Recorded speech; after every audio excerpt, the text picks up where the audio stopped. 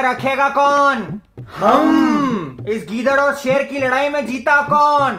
हम। तुझ पे हंसेगा कौन? हम। लड़कियाँ गुस्से में क्या बोलती हैं? हम्म। ये अच्छा नहीं किया तूने।